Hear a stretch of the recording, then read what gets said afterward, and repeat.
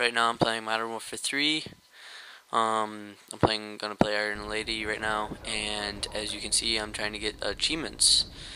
And the first one is Ménage à Trois. I don't know what that is, but this level, this achievement, you have to be pretty patient on. You see that tank right up there, coming up on the left. It's gonna head up right next to the other tank in the middle, and then I'm gonna shoot that tank. It's gonna explode, and then I'm gonna get the tank buster, whatever it is, Ménage Trois achievement. But I don't get what that means. But um, yeah. And I'm gonna kill it right now. Yeah, blew it up. Yay! Got the achievement. And then next clip, uh, scorched earth. This uh, one you have to get nine kills with a strafing run.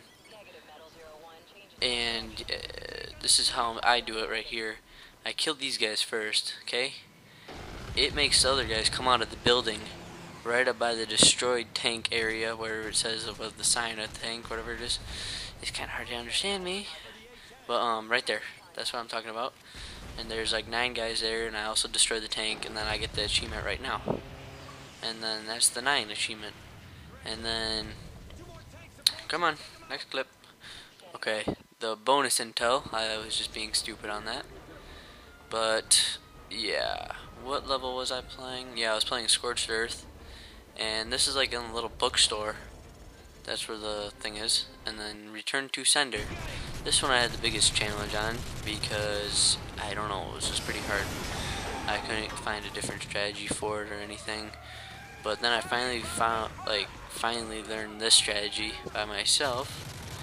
Um, I shot that guy, grenaded that because some guy was in there, ran in the door,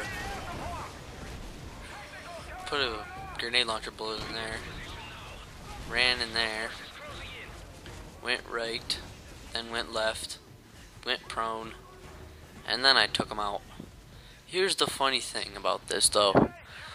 Um, this was an epic fail because I don't know, I kind of like did friendly fire on my own guys, and then it turns out I still got the achievement, but yeah, kill box, that was pretty cool.